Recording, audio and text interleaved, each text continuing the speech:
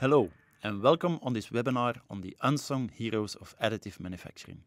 In additive manufacturing, we typically think of complex parts, parts that cannot be created in any other way, parts that create added value through its complexity.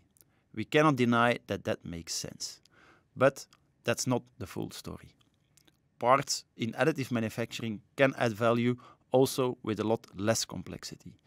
These parts are often put less into the spotlights, and that's what we want to do in this upcoming webinar.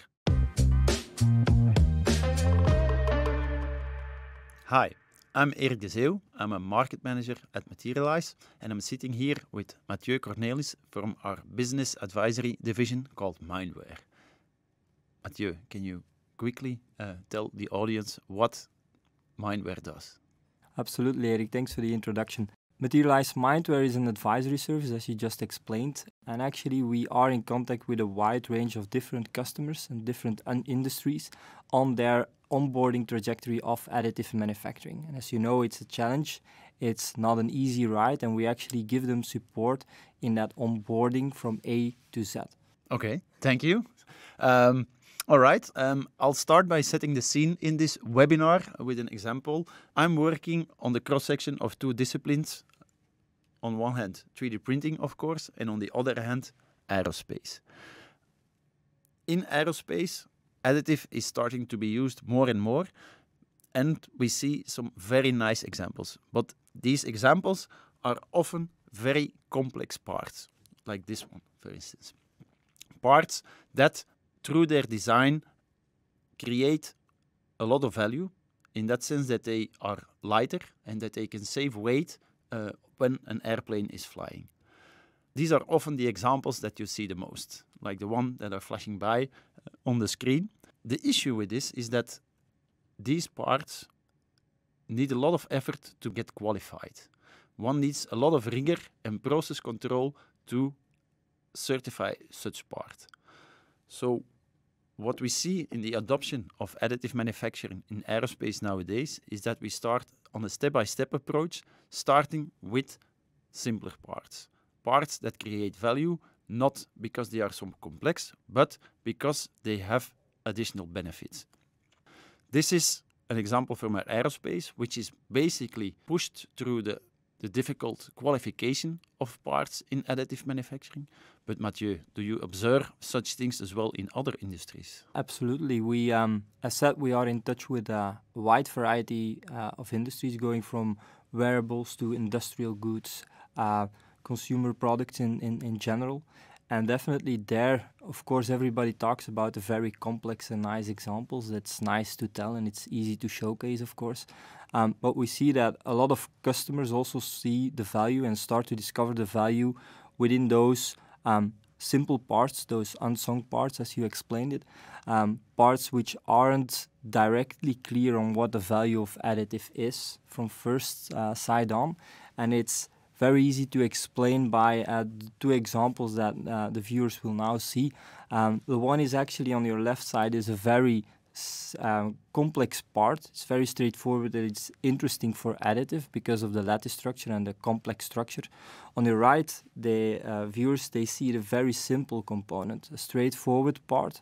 Um, and if we would ask um, the people watching what is the most suitable part for additive, everybody would go to the left because of those obvious reasons.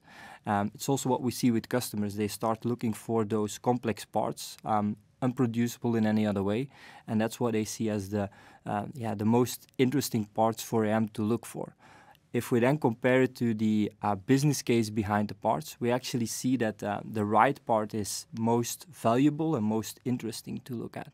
And the truth lies underneath what you see on the outside it's actually a uh, very uh, straightforward, complex part, but of course, um, the right one, the business case, is much more interesting because of those um, different parameters to look at. And in first reflection, everybody looks at um, technical complexities, um, but of course, there is difference between technical complexity and supply chain complexities. And these days companies they do see disruptions with supply chains. Um, think on the Suez Canal, think on the COVID situation, of course, um, and they start to look for alternatives, alternatives for conventional technologies, where they then look into additive, of course, and additive can then bring value um, by supplying it close by. Uh, producing it locally and to cope with all the difficulties that we have seen in the last couple of years passing by, of course. Um, it's a clear cutoff between uh, the two big um, uh, clusters of technical parameters and economical parameters. Um, to run over a few, and we will um, hand out um, the complete overview to uh, the viewers. Um, actually, on your left, you have those obvious ones, the technical parameters like complexity, like um, it's unproducible, it's interesting because I can combine components uh, and so on. On your right, you have those economical parameters, the parameters, as said earlier, who are hidden, who are not that obvious. Um, to name a few, it's like uh, a minimum order quantity. Um, not all companies um, are aware directly of, uh, for example, startup costs or um, transportation costs or storage costs. Um, and that, uh, of course, are parameters who are important in the selection of uh, the right uh, parts for additive. Before it was impossible to make, it's perfect for additive. Now it is actually a very simple, straightforward component, but due to the fact that it's impossible to get the part here on time, can already be a driver, uh, and that was actually a little bit uh, unseen before, uh, and that's what a trend that we see in uh, many different cases and many different industries, of course. Can you maybe elaborate uh, on those drivers a bit more? Definitely, if you if you talk about um, minimum order quantities, it's it's a very obvious one. Um, if you start to order a part, if you want to order a part, um, of course you have the minimum quantity that you need to purchase. And uh, with conventional technology, is often connected to uh, your mold, your investment of your mold. So you need to have uh, X amount of parts before a company even start producing it. With additive, the nice thing is that we can simply make one part or a few parts. Um, there is no difference in actually the startup of uh, one component or 10 component, it doesn't matter.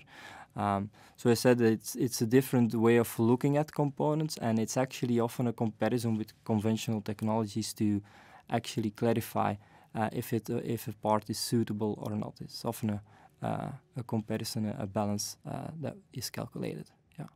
All right. And what else?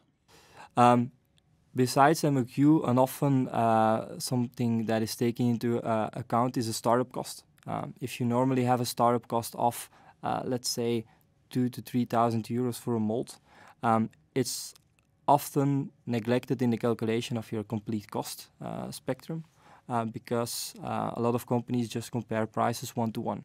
And of course, if you compare prices one to one, we see, and we are uh, obvious uh, honest in that, that AM often is more uh, expensive. But imagine that you only need two components and you have a startup cost of uh, five to ten thousand euros. Of course, you need to calculate that cost within your part cost as well, and that gives, of course, a big uh, difference in your calculation of uh, the so-called TCO or total cost of ownership of your component. So yeah, it's something that we uh, that we often uh, see passing by. Um, of course, it's not always a black and white story. It's obviously something that you see in aerospace applications as well. I, uh, I assume. Indeed, most definitely. Um, so um, parts are chosen not always only of their technical complexity or only of their supply chain complexity. Um, and uh, we see that we introduce some bits of complexity where we can. Um, it is noted that most, the majority of our parts are uh, having uh, a limited amount of technical complexity, uh, and that most are chosen because of their supply chain complexity. But um, often we need to do little changes to make them printable. Uh, we need to uh, design for the specificities of those AM uh, machines sometimes. So that's a degree of complexity that we need to introduce. And uh, one should definitely not scare away uh, from complexity when it is possible because it will introduce or it will improve your business case. If we take a look at the graph, when you see where additive makes most sense, it is the the section where you have low quantity typically or medium quantity.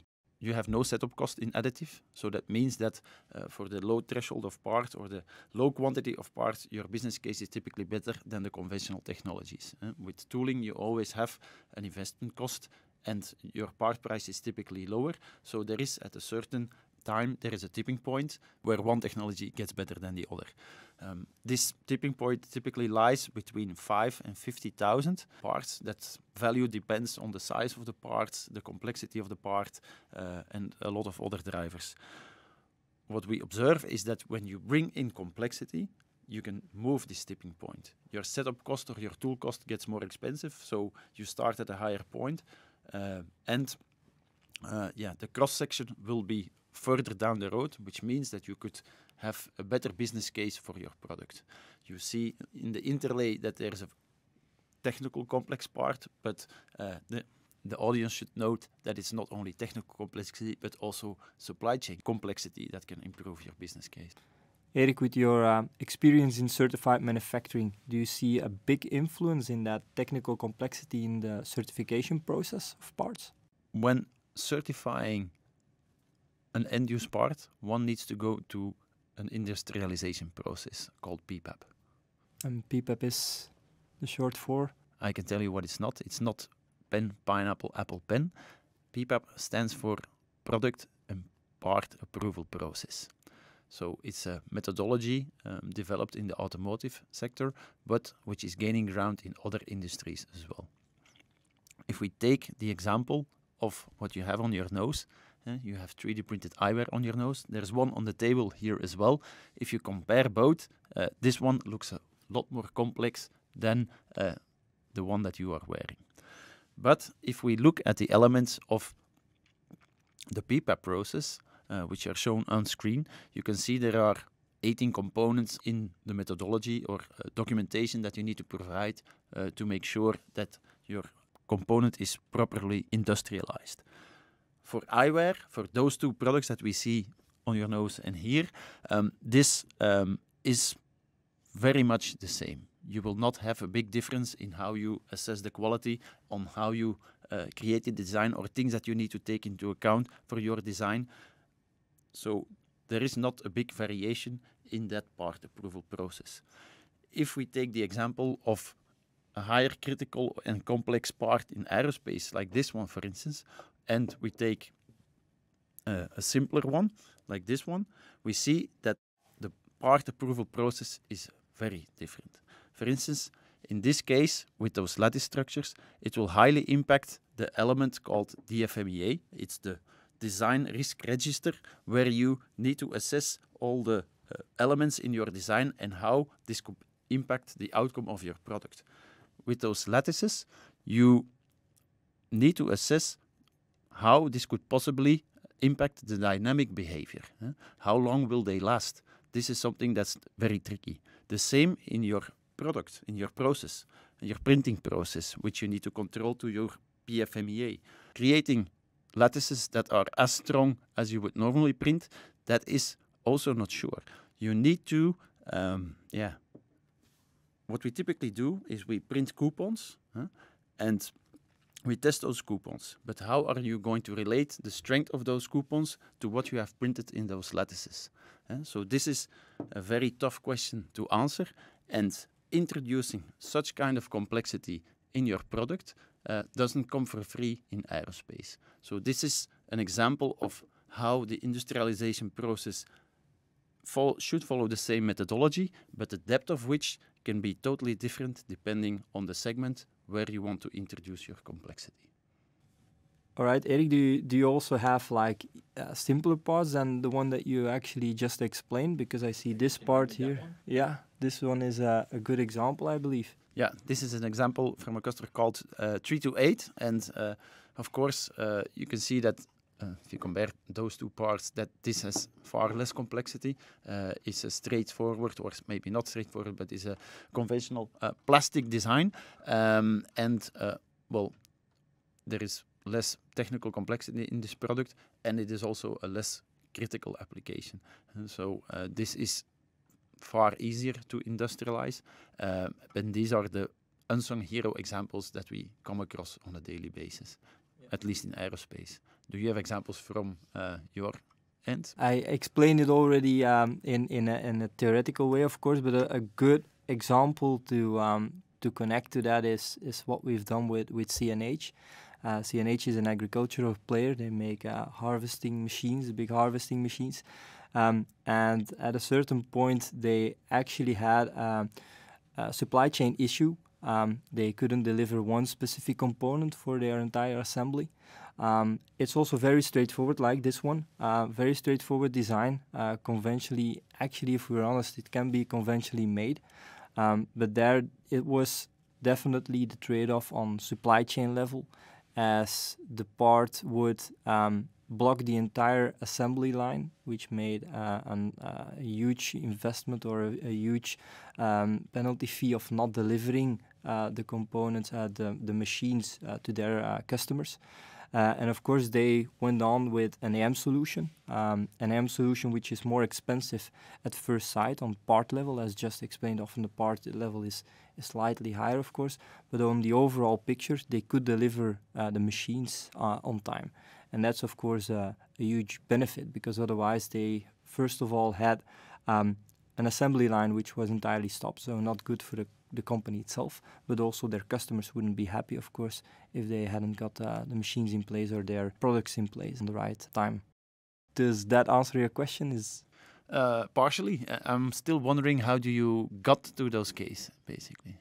Um, yeah, as indicated in the beginning on, and you gave a great introduction as well. Um, we um, actually deliver an advisory service where we guide customers in their onboarding. And in that exploration of finding the right application is one big element of our so called triple E model. You have exploration, you have experiment, and the enable phase. The exploration is, of course, the first phase where we look into finding the right applications, the one that matter. And the two uh, sets of drivers that we just ran over is actually a model, a methodology that we use internally ourselves.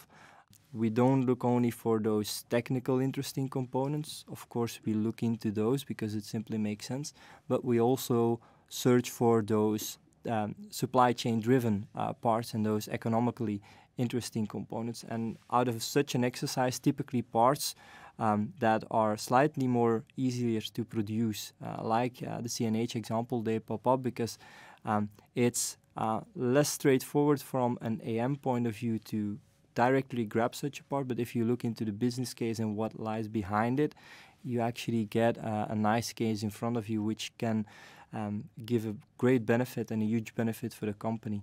Uh, so that's uh, a great exploration there. How can our audience uh, go forward with this?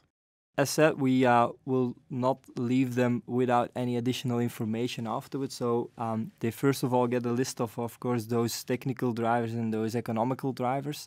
We will send the information on how to onboard additive manufacturing. It's something that we will provide as well. Um, so it's great to have a, a read through there, and of course they can reach out if they have any additional questions or they want to uh, explore together with us what AM uh, can mean within their organization. And of course, when reading through and when looking on those parameters, uh, hopefully some unsung heroes pop up already um, because we truly believe that um, every company will have uh, a few of them at least that lay around and where AM can bring uh, uh, some value to them. That sounds like a nice goal. Absolutely. Okay. And I think with this, uh, we have unfolded you the story of our unsung heroes and we can wrap up this webinar. Thank you for your attention and we'll be available for your questions.